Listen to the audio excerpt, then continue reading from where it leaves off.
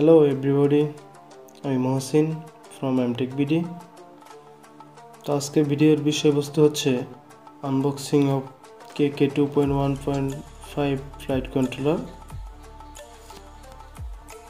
এটি প্রথমে আমরা আনবক্সিং করি। তো এর সাথে কিছু কেবল থাকবে, যেগুলোর মাধ্যমে এই বোর্ডটিকে আমরা রিসিভারের সাথে কানেক্ট করব। একটি বাজার থাকবে সাথে।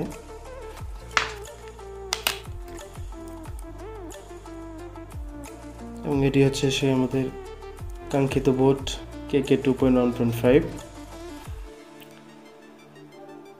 তো বোটে চারটি বাটন রয়েছে। যে বাটনগুলো ব্যবহার করার মাধ্যমে আমরা আমরা আমাদের কাঙ্ক্ষিত ড্রোন বা কোয়াডাপ্টারে প্রোগ্রাম দিতে পারব। তো এটি হচ্ছে সিলেকশন বাটন।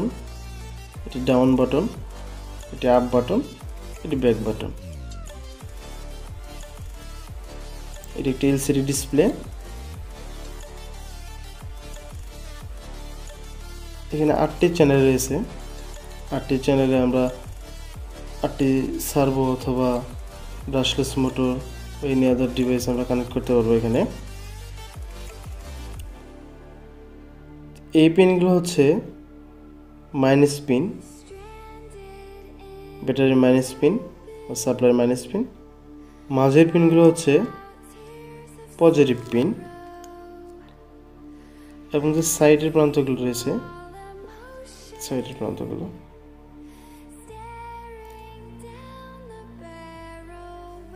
এগুলো হচ্ছে সিগন্যাল পিন তো এখানে আটটি সার্ভো অথবা মোটর কানেক্ট করা যাবে। এ পাশে পাঁচটি চ্যানেল রয়েছে।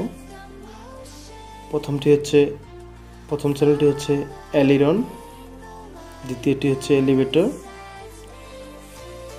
তৃতীয়টি হচ্ছে থ্রোটল চতুর্থটি হচ্ছে রাডার এবং পঞ্চমটি হচ্ছে এক্স ইউ নিচের দিকে আইএসপি পিন রয়েছে, যার মাধ্যমে আমরা কম্পিউটার বা ল্যাপটপের সাথে কানেক্ট করতে পারব।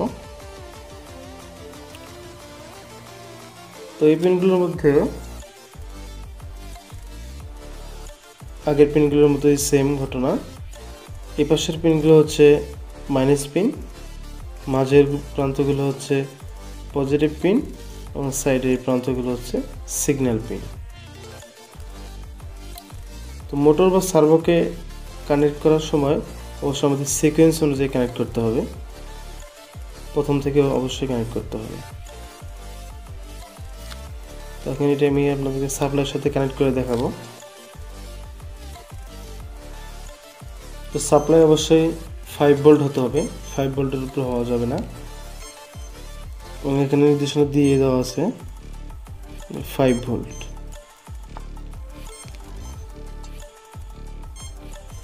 হচ্ছে নেগেটিভ নেগেটিভের সাথে কানেক্ট করব আমরা। পজিটিভ পজিটিভের সাথে কানেক্ট করব। বোর্ডটি এখন সাপ্লাইয়ের সাথে কানেক্টেড হয়ে গেছে।